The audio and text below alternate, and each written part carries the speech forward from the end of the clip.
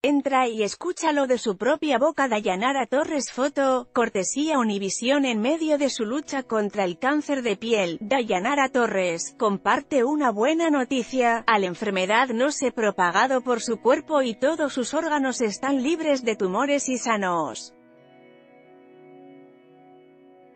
Del mismo modo que dio la noticia de que estaba batallando contra el cáncer, la ex Miss Universo, utilizó su cuenta de Instagram para dar esta otra que la tiene feliz, y pedirle a la gente que sigan con sus oraciones que tanto la han ayudado en este proceso. Dayanara también compartió, que este viernes comienza con las radiaciones que le dijeron que estará un poco débil, pero que sigue convencida y segura que va en el camino a sanarse.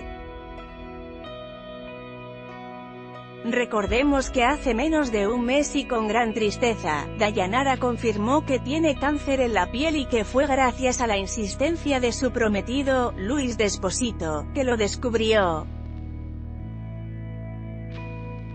Les cuento la triste noticia que tengo cáncer en la piel, melanoma, por una herida y un lunar que apareció y no le presté atención.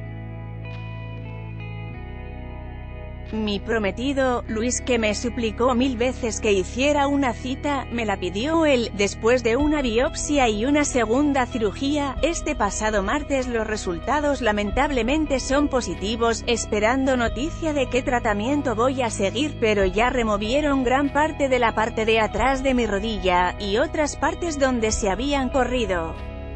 Quiero decirles que yo estoy bien, mis hijos están bien, aunque con mucho mucho miedo, pero saben que tienen una mamá guerrera, que no se rinde, que me levanto de todas las que me ponen y más fuerte que nunca, dijo en su momento.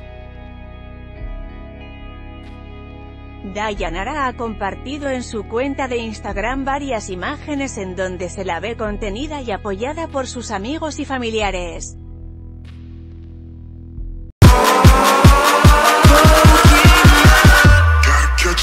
Oh.